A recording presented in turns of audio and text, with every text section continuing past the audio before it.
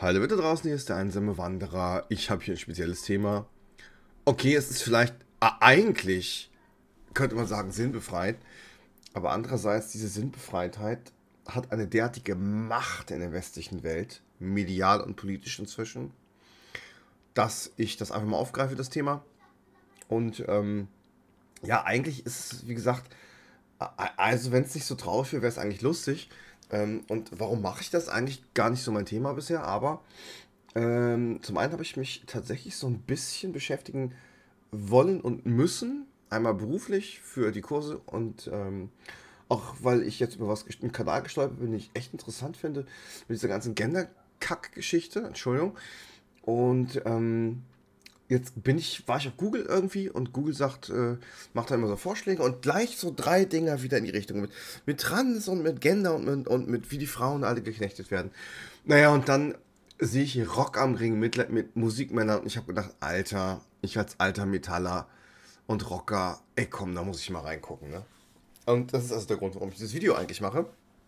Tatsächlich hat es aber tiefgehendere Bedeutung, als wir denken. Weil diese Leute die ich jetzt gleich vorstelle, ihren Ideologien sind gefährlich. Denn wir sehen, was passiert mit Leuten, wo man vor vielen, vielen Jahren gesagt hat, die Spinner da, die mit den Latzhosen, die kein Deo nehmen und sich die Haare wachsen lassen, die grünen Spinner, die werden doch nie was. Ja, und heute hm, verbieten sie euch die Autos in der EU. Das heißt, man sollte sowas nicht auf die leichte Schulter nehmen. Tatsächlich sollten wir diesen Fehler nicht noch einmal tun.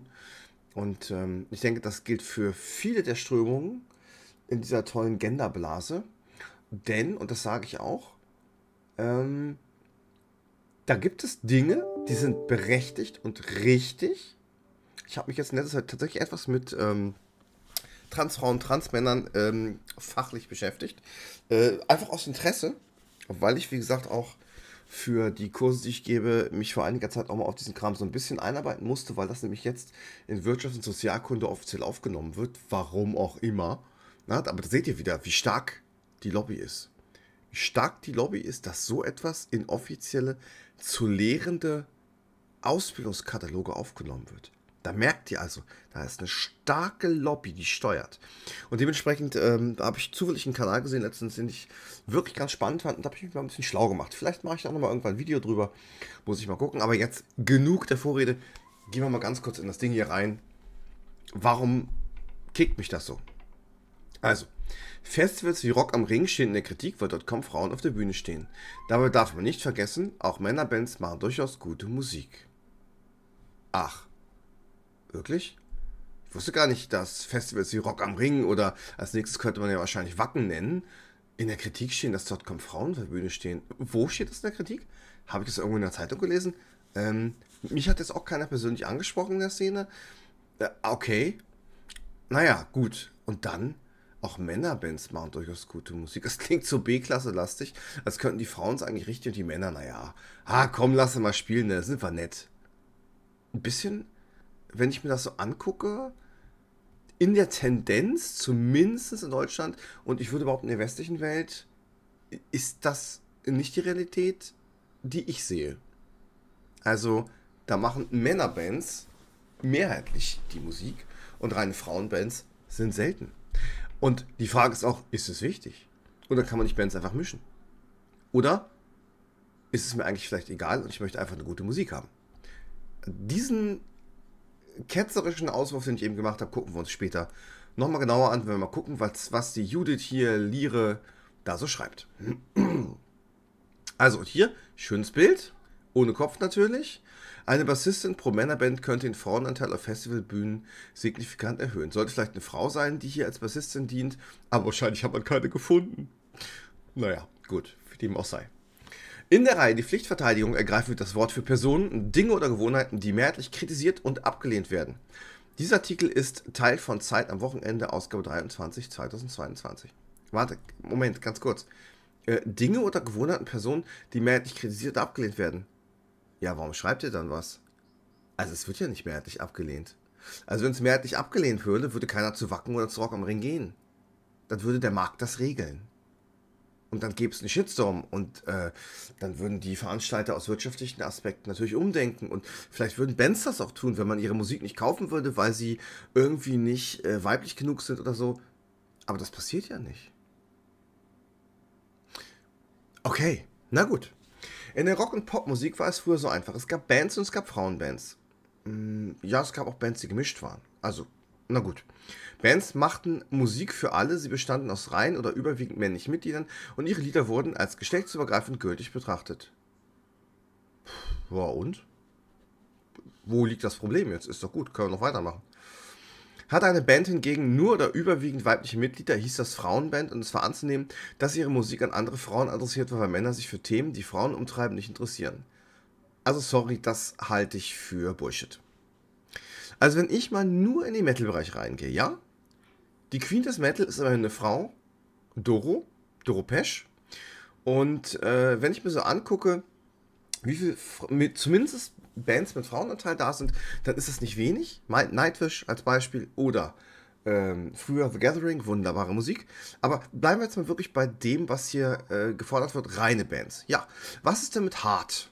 Muss man überlegen, war Hart eine, war da ein Mann bei oder war Hart eine reine Frauenband? Nee, ich glaube, die waren auch gemischt. Aber zum Beispiel Phantom Blue war eine reine äh, Frauenband und Wixen, glaube ich, sind auch eine Frauenband gewesen. Also, wenn das so wäre, wie die schreiben, dann würde ich die ja nicht kennen, weil ich bin ja ein Mann. Und auch nicht irgendwie non-binary oder trans oder irgendwas, weil ich bin einfach so ein richtiger verkackter Cis-Mann, glaube ich.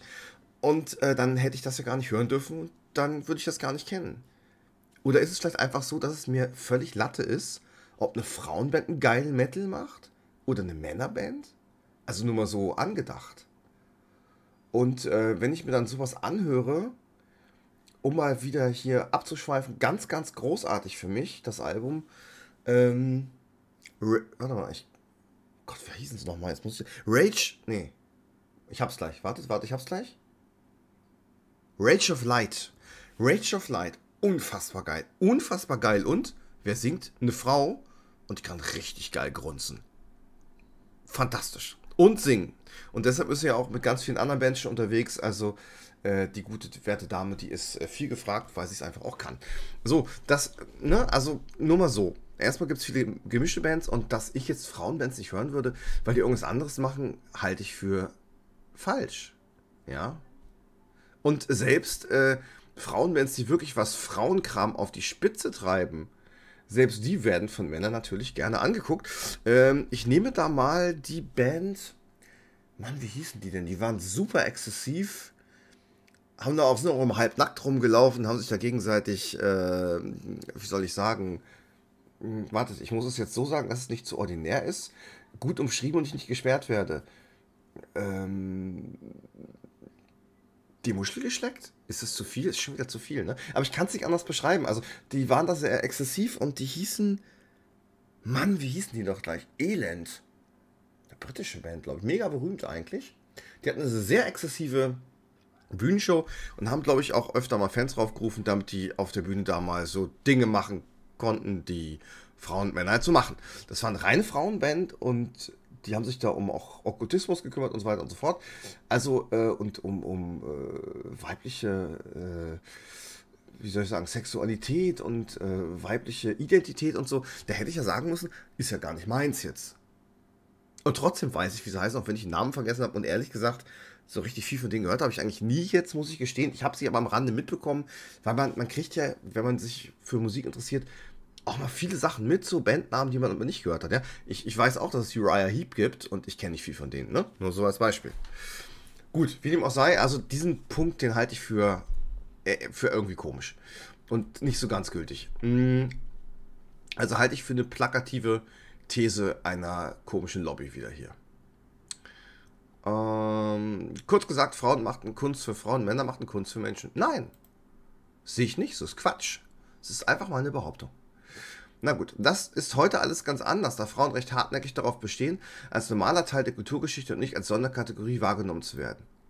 Also das klingt so, als hätte die Männerwelt Jahrhunderte die Frauen in ihrer künstlerischen Betätigung, auch was Musik angeht, völlig unterdrückt und ihr keinen Teil in der Musikgeschichte zugestanden. Ey, das ist doch Bullshit. Gerade Musik wird natürlich von Managern viel Geld angesteuert. Das sehen wir bei dieser ganzen äh, künstlich produzierten, wir haben ein Casting-Show-Geschichte Musik. Ähm, aber es ist auch so, gute Musik hat auch was mit handwerklicher Qualität zu tun. Ähm, mit Technik, Qualität der Technik, mit Gesangskunst und so weiter. Und ja, natürlich hat das viel was zu tun mit Pushen und nicht jede Band, die gut ist, kommt hoch, das ist auch ganz klar. Aber dennoch hast du mit einer guten Leistung eben eine bessere Chance als mit einer schlechten. Das heißt, zu einem gewissen Teil regelt der Markt noch. Auch wenn da viel, viel Geld natürlich drin steckt und viel Gepusche. Das will ich, will ich ganz klar sagen.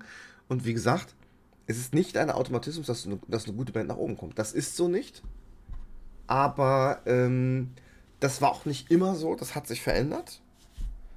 Die wohl krassest gepushten, äh, sehr berühmt gewordenen, was die meisten gar nicht wissen, sind die Beatles. Also, wenn da Geld hintersteckt, ist, geht das schon eine Menge. Und nichtsdestotrotz, der Markt regelt. Wenn die Musik kacke klingt, dann hören es weniger Leute. Auch wenn es gepusht wird. So, ähm, also von daher, wir haben hier nicht irgendwie Frauen draußen gehalten und gesagt, nee, läuft nicht und so. Ähm, und es mag ja vielleicht auch sein, dass Frauen und Männer tatsächlich irgendwie ein bisschen unterschiedlich sind, eine unterschiedliche Mentalität im Schnitt haben und sich für unterschiedliche Dinge interessieren. Ja, sowas soll es geben. Tatsächlich. Also ihr seht schon, ich bin so, ein, so, ein, so eine reaktionäre Kacksau, die diese Geschichte mit Binary und mit äh, sozial konstruierter Geschlechtsrolle nicht so richtig ernst nimmt. Gut, wie dem auch sei. Hier mal weiter. Also, äh, Frauen äh, durften quasi nicht in der Kulturgeschichte wahrgenommen werden. Das ist hier die Aussage. Ähm, ja, also ich muss dazugeben, ja, reine Frauenbands im Metal zum Beispiel sind eine Kategorie. Aber doch nicht, weil, weil irgendwie sich die Männer hingestellt haben und gesagt haben, ihr Frauen dürft das nicht. Nein, Woran liegt das? Weil Frauen vielleicht einfach weniger Bock drauf hatten. Weil Frauen sich vielleicht für was anderes interessieren. Ja? Und oder weil Manager vielleicht auch gesagt haben, das mag durchaus sein, ah, Frauenbands kommen vielleicht nicht so gut an. Aber dann muss ich sagen, wenn das so wäre, dann hätten Hart und Co. und, und Phantom Blue keinen Erfolg gehabt. Und Europäisch auch nicht. Wenn es an der Frau liegt, sozusagen. Okay, Doropesch ähm, hat eine Männerband im Hintergrund, Band im Hintergrund gehabt, okay, aber egal.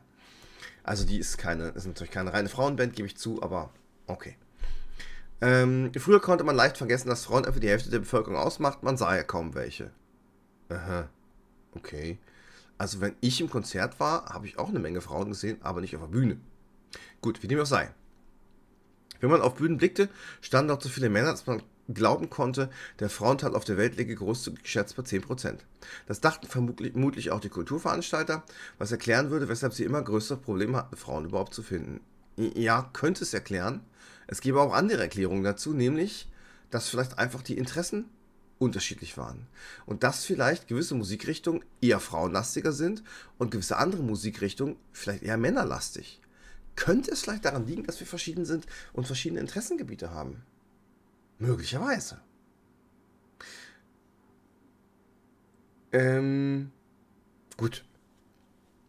Und wir haben hier noch so ein Ding, was mich immer unheimlich ankotzt. Mann, ich bin wieder so etwas vulgär heute hier in diesem Video. Ähm, immer dieses, ja, das muss alles immer überall genauso sein wie der Frauenanteil. Also wenn wir 50% Frauen haben, dann müssen in jeder Firma 50% sein äh, und auch in der Musik und im Theater und so, sonst geht das ja alles nicht da kann ich euch nur sagen, Schätzchen, du bist rückständig. Da würde ich jetzt mal sagen, als der Gutmensch, und was ist mit Transgender? Du kannst doch nicht 50-50 die Welt teilen, das ist ja voll unfair. Und was ist mit Gender und Binary, also mit 50-50 und Frauen und Männer? Das ist echt reaktionär von dir, liebe Autorin. Aber gut, anbei. Ähm, es macht doch keinen Sinn. Es macht A keinen Sinn. Warum soll denn jetzt eine eine Band irgendwie. Warum soll die Hälfte Frauenband sein? Die Frage ist ja auch nicht. Die Frage ist ja, die hier steht, im Raum steht, geht es nicht um Frauenbands und Männerbands, sondern geht es darum, dass Bands jetzt grundsätzlich zur Hälfte aus Frauen bestehen müssen. Das ist ja im Prinzip das, was hier gefordert wird. Was soll das? Ich will doch gute Musik hören und es ist mir doch Latte, beziehungsweise ich habe überhaupt kein Problem, wenn die ganzen Metal-Bands mit lauter tierisch gut aussehenden Mädels besetzt werden, die genau die gleiche gute Musik machen, rülpsen und Bier trinken. Okay, Entschuldigung, es ist ein bisschen klischeelastig, aber ich war halt in Wacken. Ähm, also wenn das so wäre, ich glaube, ich hätte gar nicht so das Problem damit. Also es liegt ja nicht daran, dass ich Frauen in der Szene verachte, überhaupt nicht. Allerdings finde ich es auch okay, Männer zu sehen. Also, so ohne Männer finde ich es auch ein bisschen langweilig, weil jeder sucht seine Vorbilder, findet vielleicht ein Style von manchen Leuten gut, äh, findet toll, was die machen. Also, warum, warum muss ich das äh, so künstlich halbe halbe machen? Und genau an der Stelle, genau an der Stelle kriegt man diese Leute auch. Weil diese ganzen tollen Gender, Feminismus, äh, wie heißt das, LGBT, LGBTQ oder was auch immer äh, Lobbyisten, ja. Und die kommen dann immer und fordern sowas. Ja. Aber dann gehen wir hin und sagen, ja, ist okay, aber ähm, ich finde, das finde ich auch gut, was du so sagst, 50-50 Quote, ne? Aber ich hätte dann gerne bei den Bauarbeitern auch 50 Prozent. Und äh, im Kindergarten, die Erzieher müssen auch 50 Prozent Männer sein. Das ist okay, ja? Oder so, vielleicht?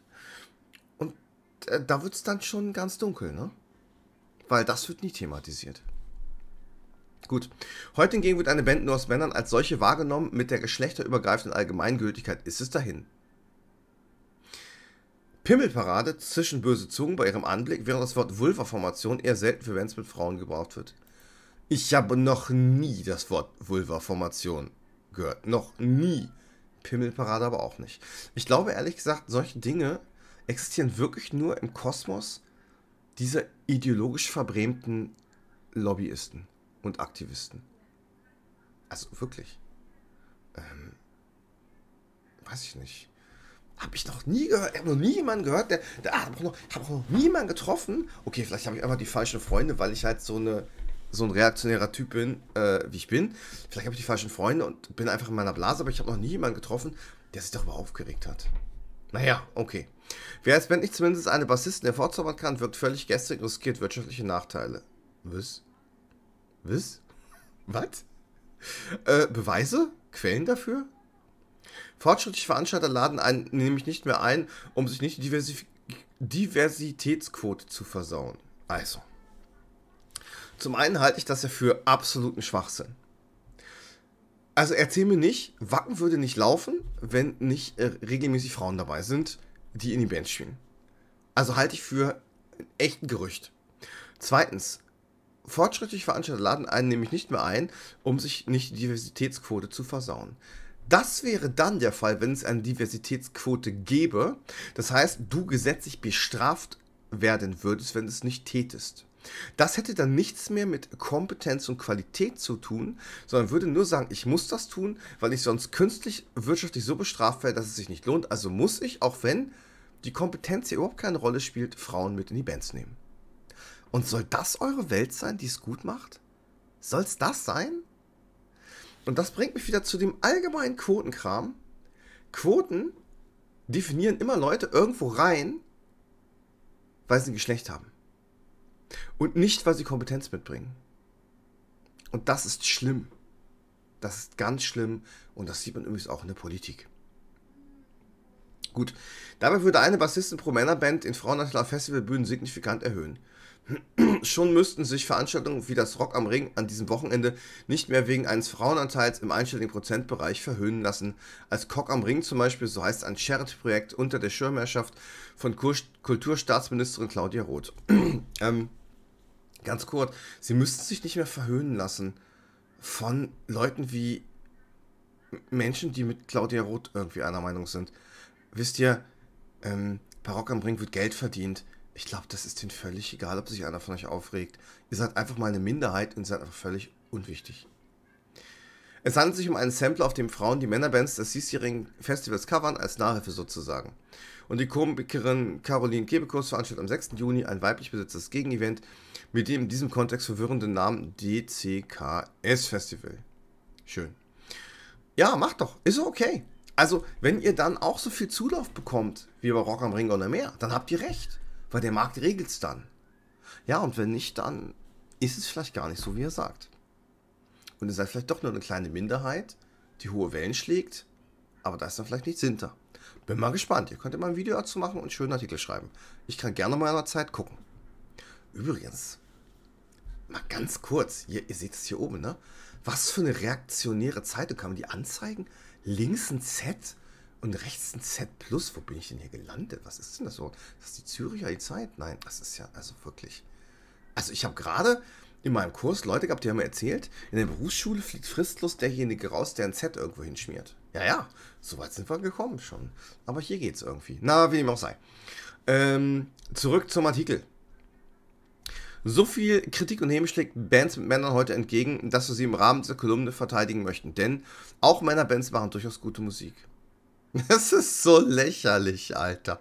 Es ist so lächerlich. Also ich spreche jetzt mal nur vom Rock und äh, Metal-Bereich. Aber ich könnte sicherlich auch andere Sachen nehmen, wie Blues oder sowas oder sonst was. Es gibt immer gemischte Bands in jedem Bereich. Es mag sein, dass sie in die verschiedenen Sparten etwas ähm, differenzieren, aber Männer haben immer gute Musik gemacht und damit immer viel Geld verdient.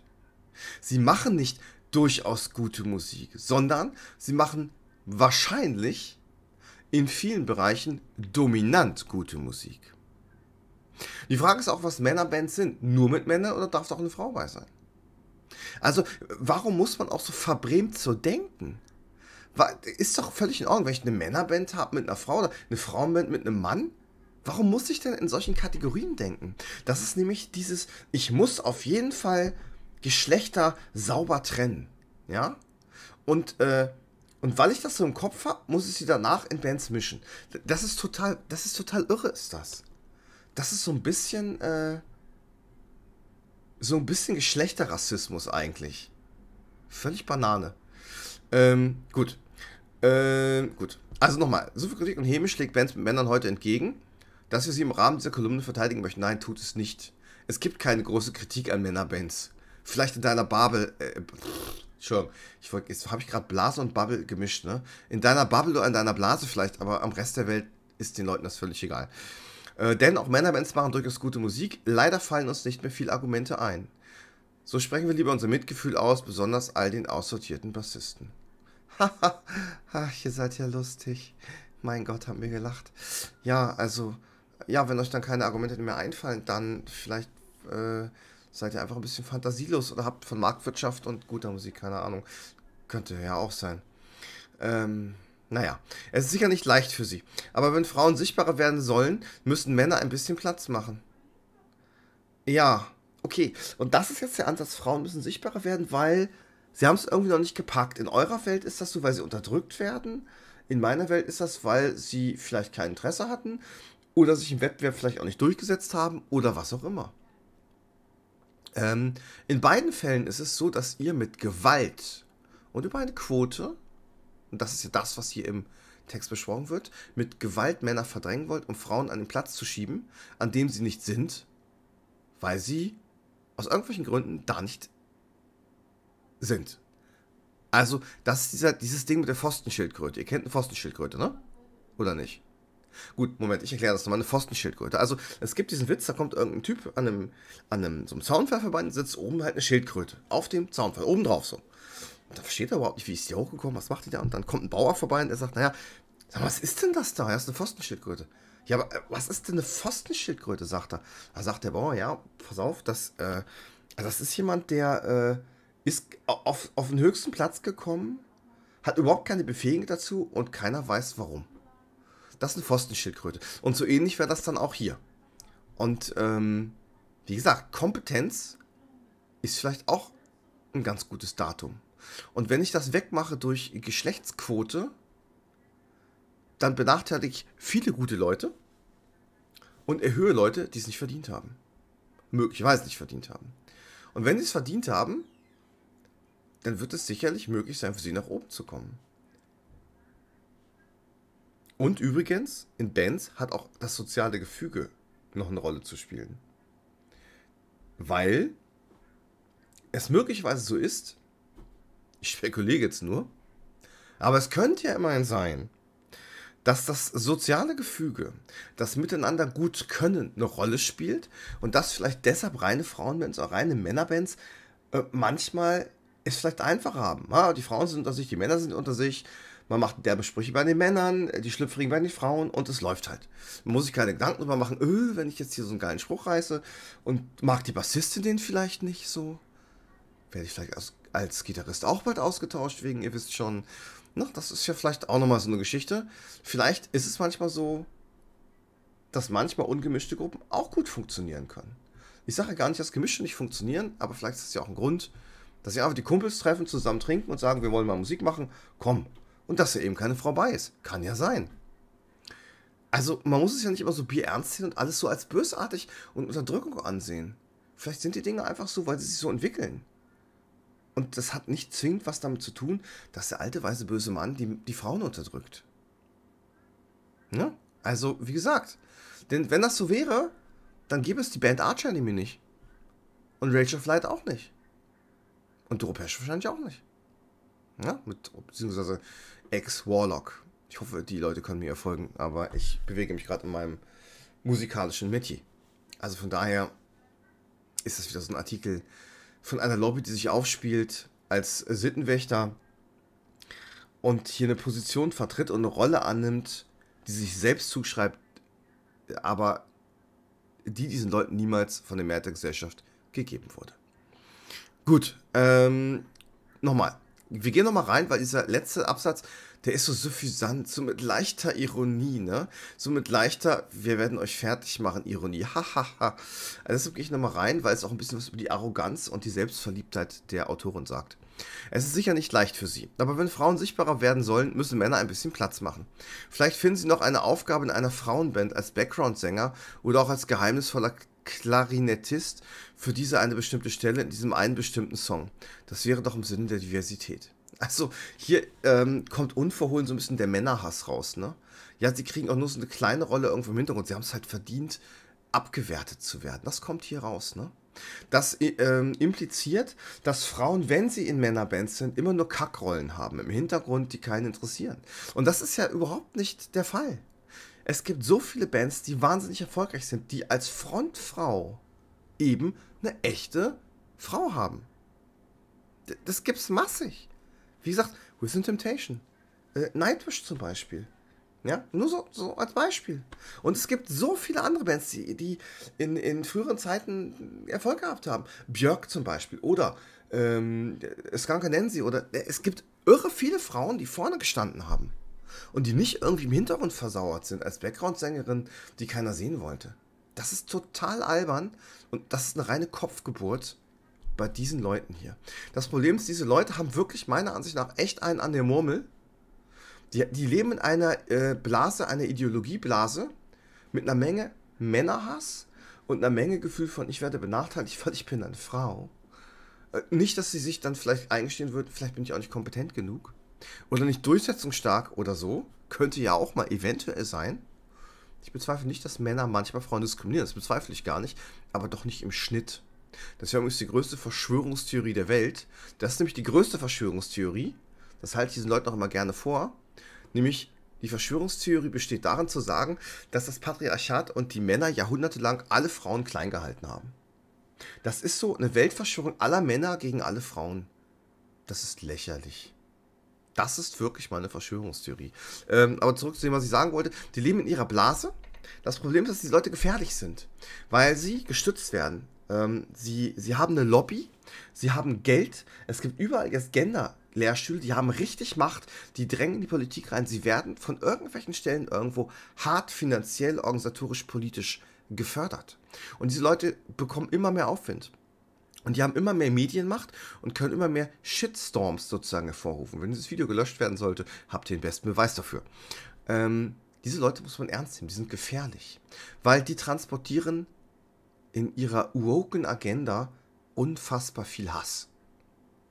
Und die tun auch zum Beispiel, wenn wir mal bei dieser Agenda-Geschichte wieder sind, ähm, der Sache auch teilweise gar keinen Gefallen. Also, was die jetzt hier mit Gender und Non-Binary und so machen, ist nicht zum Beispiel im Sinne von echten Transfrauen und Transmännern. Weil das nämlich eine riesige Modewelle ist, die hier läuft. Und sich von Wissenschaftlichkeit völlig abgekoppelt hat. Und ich gebe euch ein einfaches Beispiel dafür, wie diese ganze Blase missbraucht wird. Ihr seht, was hier gefordert wird. Ne? Macht die Männer weg. Und auf der anderen Seite kannst du jetzt als Mann einfach sagen, ah, ich bin eine Frau, ich lasse mich zwar nicht umoperieren und ich habe auch keine Lust auf psychologische Tests, dass man mich offiziell äh, ne, ne, für eine Eintragung im Pass vorsieht, weil dazu gibt es ein kompliziertes Verfahren. Dazu musst du psychologische Tests machen und äh, damit die Leute auch wirklich sicher sind, es ist nicht irgendwie eine Identitätsstörung, eine Persönlichkeitsstörung, sondern es ist echte Transsexualität, ja. Und ähm, durch diese Modewelle tust du diesen Leuten überhaupt nichts Gutes, weil das so in Verruf gerät, sag ich mal, dass die Leute, die echt da Hilfe brauchen und wirklich Probleme haben, dass die zu kurz kommen. Dann passiert es eben, um jetzt den Faden wiederzufinden, dass jemand wie Tessa, Ga ich glaube Tessa Ganserer, ja, als Mann mit einem Lolli zwischen den Beinen, ohne Passanpassung, soweit ich weiß, ohne den Willen für diese psychologischen Gespräche und ich meine, ich will jetzt nicht lügen, ohne Anpassung des Personalausweises meine ich, über eine Frauenquote Frauen den Platz wegnehmen. Und die ganzen Frauen dahinter klatschen. Und das ist das Sinnbild dieses irren Westens, dieses kranken Westens, der von den anderen Staaten wirklich auch zu Recht verachtet wird, ja? Weil andere hier rüber gucken und denken, ihr seid so dekadent, ihr geht mit eurer Dekadenz direkt in den Untergang. Weil das wirklich völlig unlogisch ist. Komplett unlogisch. Da ist ein männlicher Körper der einfach sagt, ich bin eine Frau und sich einfach Klamotten anzieht wie eine Frau und sich schminkt, mit einer Frauenquote auf einmal drin. Das ist genauso irre wie mit dem Schwimmer. Vergessen, wie er hieß. Dieser Schwimmer, der in den USA gesagt hat, ich bin trans, trans äh, hier Transmann, Transfrau, was auch immer. Und äh, jetzt schwimmt er offiziell bei den Schwimmmeisterschaften mit. Vorher hat er während der Männerwettbewerbe im Schwimmen nie was gerissen, war Platz 400 und, glaube ich. Und dann schwimmt er bei den Frauen mit und gewinnt. Das ist für jemanden, der geistig gesund ist, sowas von krank und pathogen, dass man eben sieht, das hat ja auch was mit Kulturniedergang zu tun. Und ich betone, ich betone, ich bin liberal und ich habe absolutes Verständnis für verschiedene äh, Ansichten, also ob jemand schwul ist oder nicht, ist mir Latte, das kann er halten, wie er will. Und wenn jemand wirklich, ähm, ja, Transfrau, Transmann ist, dann finde ich das wirklich so, dass man den Leuten wenn es wirklich so ist, das Leben erleichtern soll, das Leid mindern soll. Bin ich absolut dafür. Aber das ist was anderes als diese beknackte Modewelle, die hier läuft und ähm, die so einen Beliebigkeits, ähm, wie soll ich sagen, so, so ein, ich, ich finde das Wort nicht so richtig. Ja, die irgendwie so, so nach Beliebigkeit und nach Gusto ganz einfach weil es dir gerade mal in Sinn kommt, mit dem Fingerschnippen, Sachen irgendwie umdefiniert, wie äh, das Pronomen oder sonst was, und dann alles verwirrt, alles durcheinander würfelt, ohne dass sie irgendwas wissenschaftlich beweisen müssten. Und das stört mich und das ist, steckt genau auch hier eben drin. Das Thema geht natürlich noch viel weiter, aber genau das lesen wir dann. Und eigentlich, worum es hier geht, ist, wir haben eine Prise Männerhass dabei. Die scheiß Männer, die Frauen unterdrücken. Und das ist nicht gesund.